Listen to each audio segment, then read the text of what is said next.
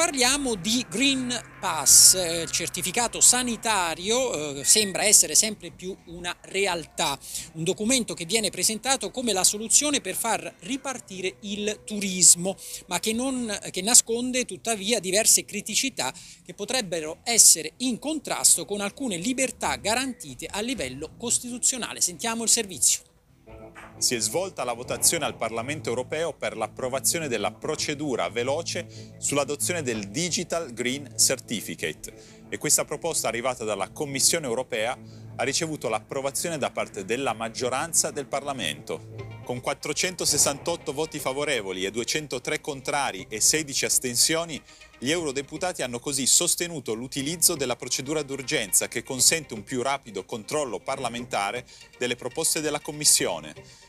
L'obiettivo di questa procedura speciale è di introdurre il certificato digitale sanitario in maniera rapida, possibilmente già entro l'estate.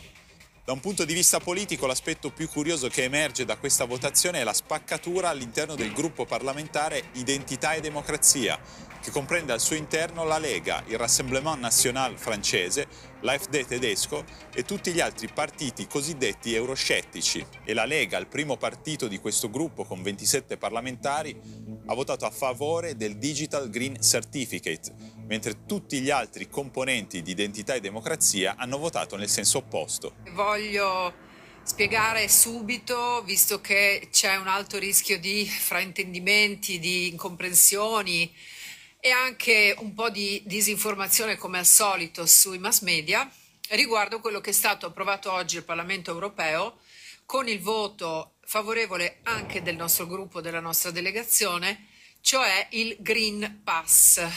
Si è votato soltanto eh, la possibilità di procedere con un iter legislativo accelerato rispetto a questo obiettivo, rispetto alla proposta della eh, Commissione europea, per riuscire ad avere questo strumento in tempo mh, utile, eh, più ravvicinato possibile in vista della eh, pianificazione anche delle vacanze estive e quindi della ripresa del settore turistico. Un segnale di rottura che può essere interpretato come un progressivo allontanamento della Lega da questo gruppo per avvicinarsi sempre di più al Partito Popolare Europeo che per questo certificato sanitario ha votato interamente a favore. A rimanere fermamente contrari al nuovo documento sono i Verdi, molto critici già nelle dichiarazioni di voto e che hanno espresso questa contrarietà in una votazione compatta per il no. E cosa succede adesso?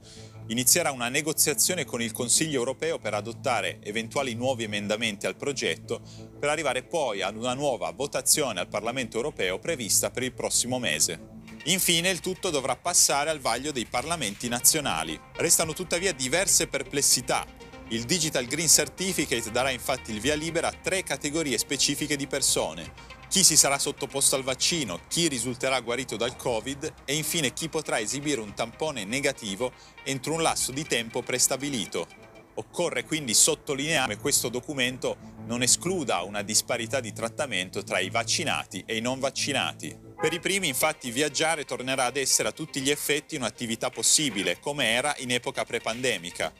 Per i non vaccinati che non sono guariti dal Covid invece resterà valida la burocrazia dei tamponi, a cui si dovranno sottoporre in partenza e all'arrivo e in un numero di occasioni che varia a seconda delle indicazioni delle sanità nazionali.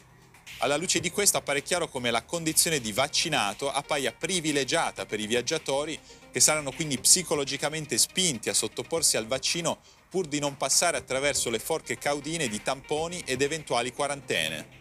E la libertà di scelta garantita a livello costituzionale verrebbe così indirizzata in un senso ben preciso. Infine occorre segnalare come, secondo le stesse istituzioni sanitarie, ad oggi i vaccini contro il Covid non rappresentano una garanzia di non contagiosità per chi vi si è sottoposto, come confermato dalla stessa AIFA. Ancora non sappiamo in maniera definitiva se la vaccinazione impedisce solo la manifestazione della malattia o anche il trasmettersi dell'infezione. Ecco perché essere vaccinati non conferisce un certificato di libertà.